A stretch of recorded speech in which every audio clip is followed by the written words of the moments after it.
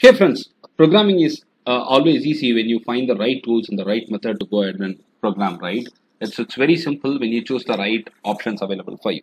And there are multiple tools available nowadays. There are multiple support systems available nowadays for programmers to make it a little easier task. Well, I'm going to introduce something like that today for you. If you're already aware of, great. If not, we can learn it today. It's called Grepper. What is it? It's a Chrome extension. But how do we use it? I'll give you an example and then we can go about it. Now what I'm going to do is I'm going to search something like React Forms. When I do that, I get a lot of websites which are populated here and web links that are available. I need to go through each and every one of this to get the right answer or the right code snippet which could be very related to my search, right? It's a little troublesome task. So let me go to Google Chrome and I can search for Grepper and immediately this link will come where you can add it to your Google Chrome as an extension, as a plugin you can add it. The moment you do it, your life will be easier. Well, I'm going to search the same term here, React Forms.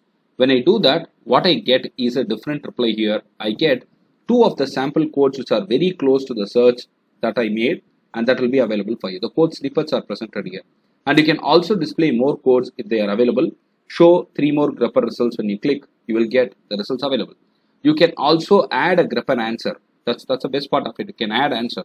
And similarly, I'm going to search for CSS forms. You can see that I'm just clicking it and the moment I get it, the available one reply has come out and wherever there are answers available, wherever there are relevant code snippets available, that will be pulled out and you get it done.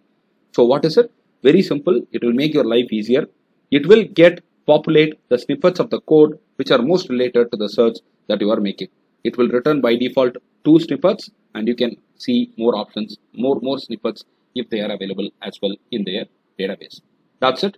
Try it out. I hope this was an useful input. In case you have any questions, go ahead and type it in the comment sections. I'll be very happy to answer you. Thank you very much for following my channel content. If you like the channel and the content, kindly subscribe. Thank you.